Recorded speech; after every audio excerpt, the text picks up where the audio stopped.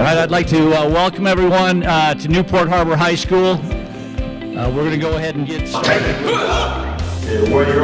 Today's clinic was to try and educate coaches from the Pop Warner level, the high school level, uh, about the importance of equipment safety and tackling and how every coach is responsible to know what techniques he's teaching and whether they're going to protect the athletes to the fullest degree. The first thing we need to do when you take, take a helmet is determine the head size. And so we have to touch their shoulders and point down to their feet. That tells you your feet are shoulder width apart. The uh, safety factor is uh, very important, especially with our young Pop Warner people.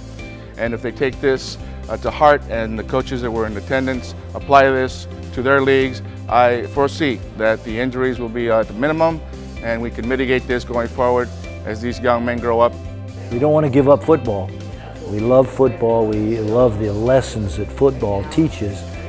And we feel very strongly that uh, we can give something back to the great sport that we all played and we think it's going to last forever. So uh, we're very proud of, again, all the people that were here and uh, appreciate everyone being involved.